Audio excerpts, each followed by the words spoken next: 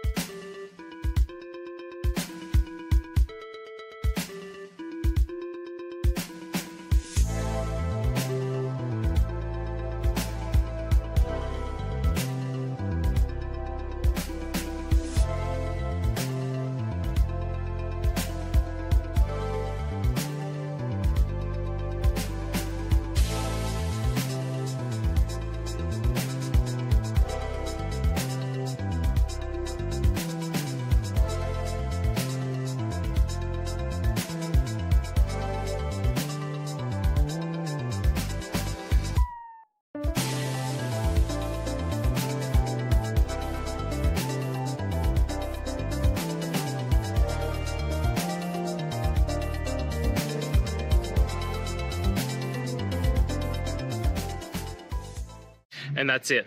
I hope this video has helped you get through to that resolution that you're looking for. If it did, please hit subscribe. And until next time you need technical help, I hope you have a good one. Cheers.